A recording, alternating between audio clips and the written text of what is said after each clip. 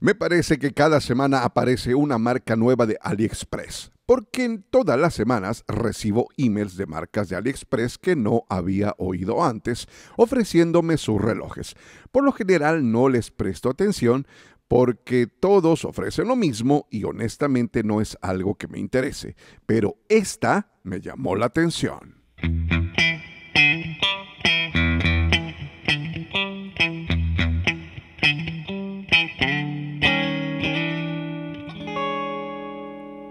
¿Cómo están? Un abrazo a todos ustedes. La marca que vemos el día de hoy se llama Willy Merck, Willy Merck, de reciente aparición en AliExpress, y me ha sorprendido el nivel de construcción y acabados de sus relojes.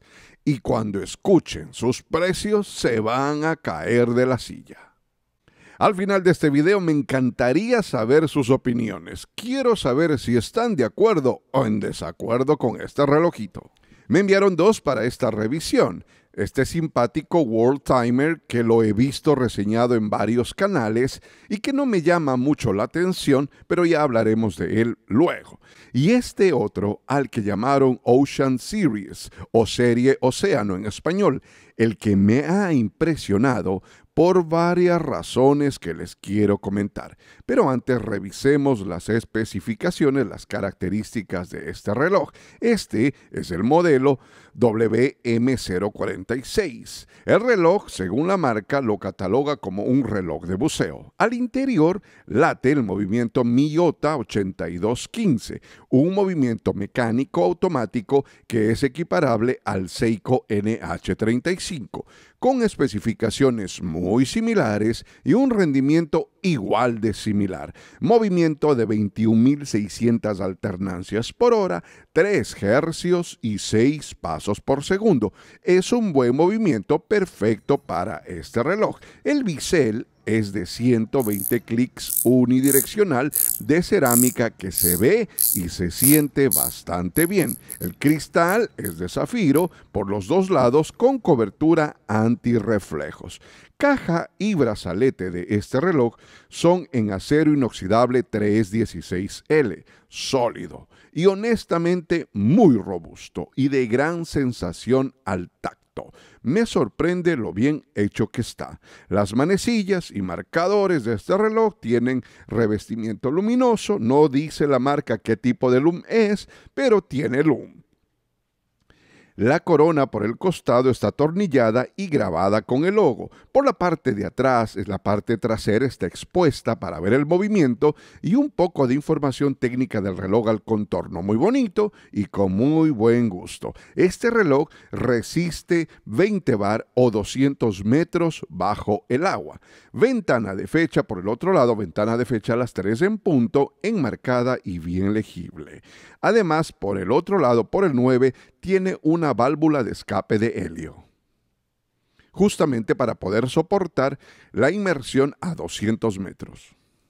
El diámetro de esta caja es de 42 milímetros. La longitud o largo de la caja es de 49 milímetros de un log al otro log.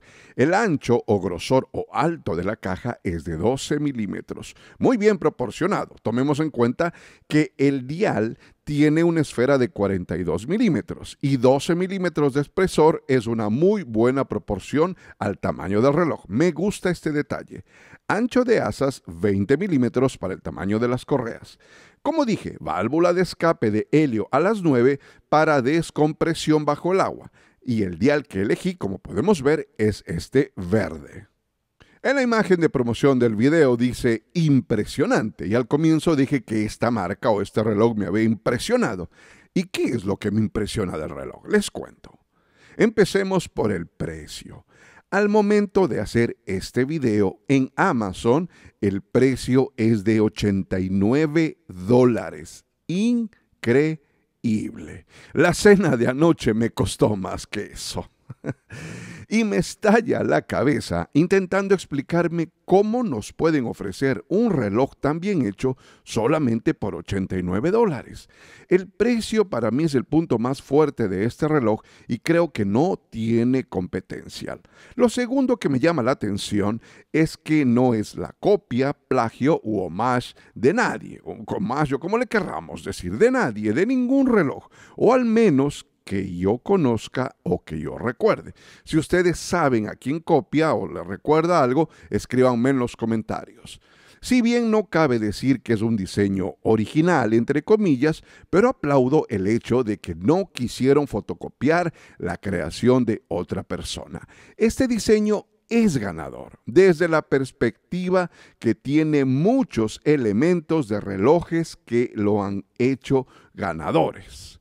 Es un reloj tipo diver con estilo de clásico, muy clásico, que lo vemos en muchas marcas. Clásico diseño, manecillas clásicas, bisel clásico, marcadores aplicados clásico, estilo diver justamente. En fin, un diseño que no tiene pierde. Es un reloj que le cae bien a todos, sin duda. Apostaron a lo seguro aquí Willy Merck. Un diseño atemporal clásico que no se parece a nadie, pero que tiene un poco de todos. Otro detalle que impresiona o me impresiona es el dial. Le tengo que dar el crédito a Welly Merck porque es un dial precioso en un verde texturizado, claro hacia el centro y se degrada hacia afuera, tomándose o tornándose más bien más oscuro, lo que le da profundidad, lo que le da profundidad visual. Es un buen detalle de mucho diseño. El dial no necesita un carril exterior como podemos ver, sobre todo en la primera parte, en la primera nivel, porque el degradado del verde le da la profundidad que un carril cumple.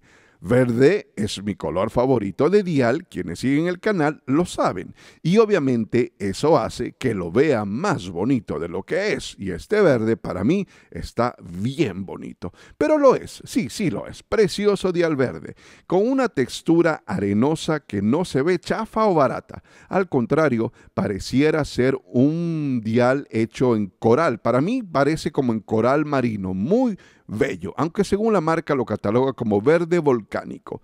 Para mí parece más bien coral de mar, pero bueno, de qué es bonito, es bonito. Los detalles en naranja son de muy buen gusto también. Son casi imperceptibles como podemos ver, pero están ahí, en los marcadores de cada cinco minutos, en la punta del segundero tipo lollipop también.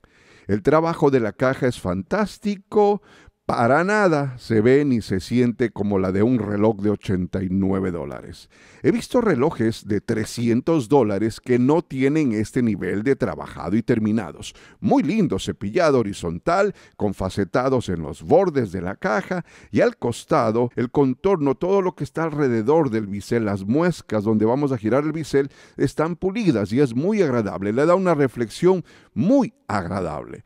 La caída de las asas en esta caja, si nos fijamos, es redondeado y así evita los filos ásperos. Le da una linda sensación como cae, es muy terso a cuando le pasamos el dedo y es muy bonito como el reloj se acomoda en vista a las asas como fueron curvadas en esta en las esquinas. Qué bien, qué bien. En fin, esta caja no es de un reloj de 89 dólares. Perdóneme. He visto Seikos de 400 dólares que no se ven así de bonitos y bien hechos. Este nivel de acabados y detalles de mayor precio también se trasladan al brazalete que es muy, pero muy bueno.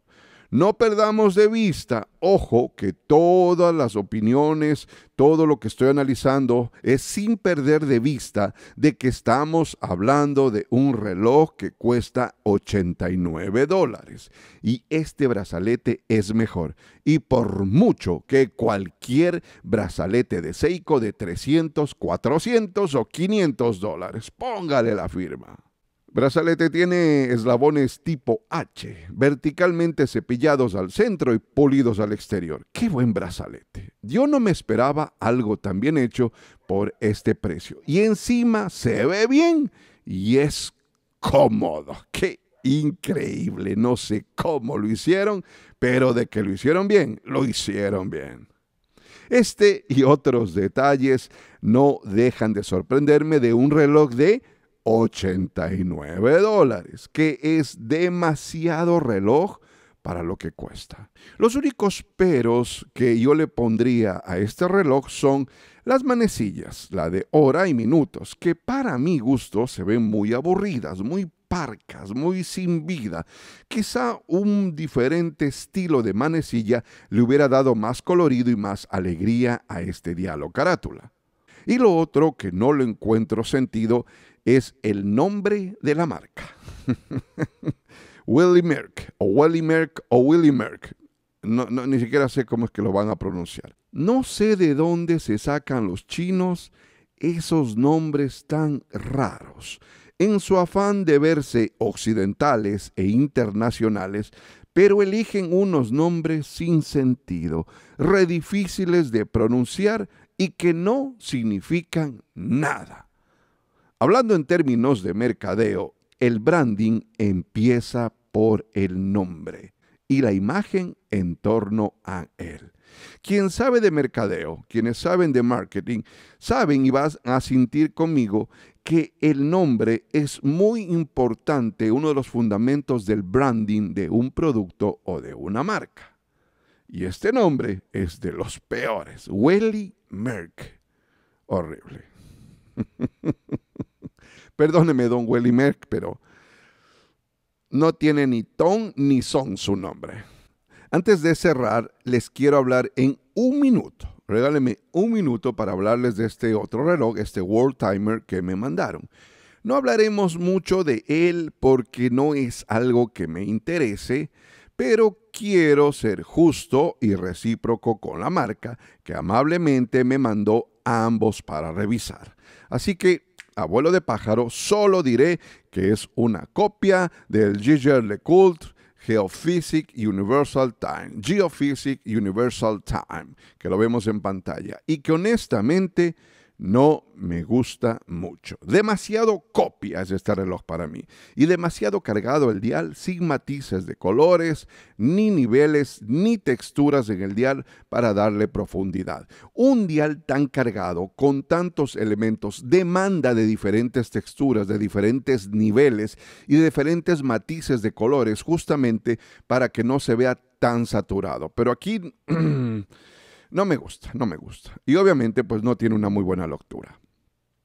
En su defensa diré que se siente igual que el diver. ¿A qué me refiero? Se siente sólido y bien construido, con buenas especificaciones, acero 316L, zafiro, 100 metros bajo el agua, buen loom y buen movimiento también, en fin, lo mismo que el otro. Muy bien construido en términos técnicos y el precio ronda por los 100 dólares también, preciosazo pero a mí no me gusta. En todo caso, si quieren verlo en detalle o saber más de este modelo, les dejaré el link abajo en la descripción también. Y hay un montón de revisiones en YouTube en todos los idiomas que ustedes pueden buscar. En resumen, y para cerrar, este Ocean Series de Wally Merck ha sido una muy grata experiencia. Es un relojito pintón que luce muy bacano puesto y cautiva a los que lo ven. Y por 89 dólares, que no me canso de repetirlo y hasta ahora no logro asumirlo, por 89 dólares. Esto es un robo, definitivamente. Un robo le estamos, no, de nosotros hacia la marca. Le estamos robando a la marca, le estamos quitando de las manos, señor relojazo, por 89 dólares. Así que ni a dónde pensarlo. Me gustó mucho esta propuesta, me gustó mucho esta colaboración, me gustó mucho esto y por eso es que acepté traerla, porque es algo nuevo, vibrante, divertido, algo que no va a cambiar la orología ni va a ganar el, el Grand Prix de orología de Genève, Suiza, pero que sí le aporta al hobby. No hay que gastarse una fortuna para disfrutar de un relojito, de un relojito perdón, muy chévere, muy decentito y bien portadito. Yo lo voy a usar y disfrutar igual que a mis relojes que cuestan 10 veces más. Porque el disfrute no está en el precio, sino en la pasión que uno tiene por los relojes.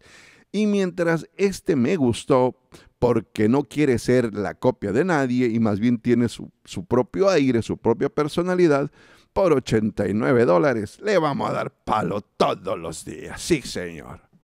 ¿Ustedes qué opinan? Los quiero leer. Los quiero leer. A los puristas que les irrita la piel la palabra homage, a los defensores de los homage, eh, a los intermedios y a los que no tienen opinión. Quiero saber qué opinan de este reloj. ¿Qué les pareció? ¿Mm? A mí me parece, yo no recomiendo relojes, ni te lo estoy recomendando que lo compres, pero a mí me parece que es impresionante. Por 89 dólares no creo que haya algo mejor. Hay un montón de posibilidades, claro que sí, de alternativas de 89 dólares y hasta de menos dólares. Pero eh, no he visto otra, otra más mejor, dijo aquel. no he visto otra más mejor, como dijo aquel, que esta. Linda, bonita, bien hecha. No sé, no sé, no sé. Bueno, los dejo por el día de hoy, ya los leeré abajo. Un abrazo a todos, si Dios lo permite, los veo en el próximo video. Nos vemos. Bye.